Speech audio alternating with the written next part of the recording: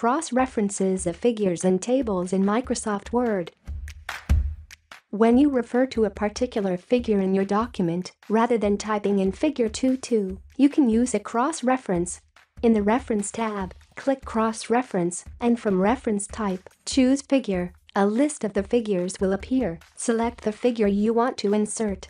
Then from Insert Reference to menu, select only label and number, then click Insert. So if the figure number changes, cause, you insert a new figure before it.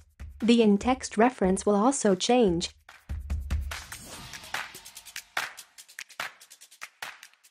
This will also work to reference table and so on.